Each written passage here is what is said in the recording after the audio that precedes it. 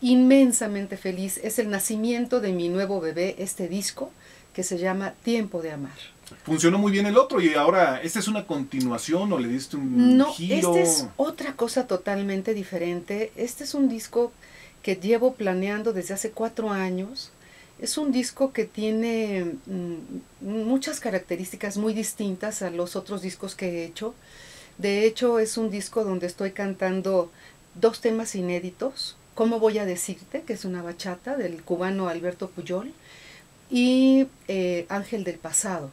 Y tiene características porque por fin hubo un disco donde yo quería cantar desde hace mucho dos temas, que el público, por cierto, de Facebook, mis amigos y amigas facebookeros, me ayudaron a escoger un tema de Café Tacuba y un tema de Maná, Mm. con, la verdad, con un sello muy personal, otra cosa totalmente diferente a lo que ellos han hecho y, y muy contenta, muy orgullosa con esta selección de canciones donde está Serrat, Montaner, Hernaldo Zúñiga, Jan Marco y, y canciones, bueno, ¿qué te puedo decir? Muy bonitas. Desde hace siete años incluso tengo grabado el, el ensayo.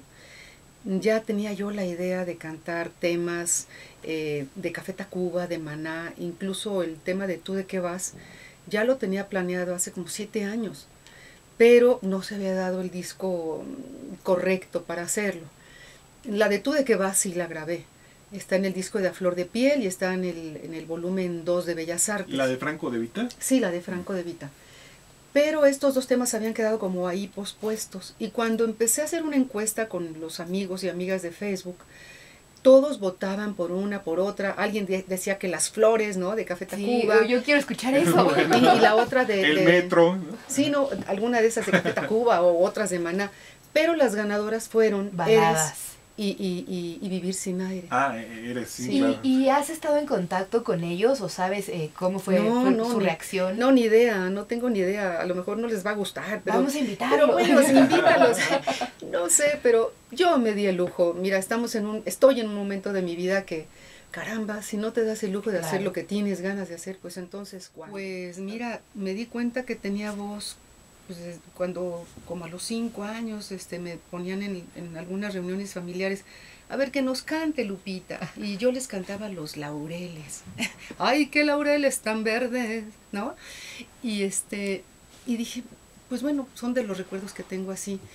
Y, bueno, ¿cómo te puedo decir? Yo le agradezco mucho a la vida el poder tener el gen, porque es un gen, me viene de familia, el gen de la voz. Sin embargo, sí te digo que en estos 38 años de cantante todavía sigo vocalizando. Tienes que trabajar, tienes que seguir trabajando tu voz, sacándole rango, eh, siempre impostando la voz, recordando cómo respirar. Hay que cuidarla. hay que-.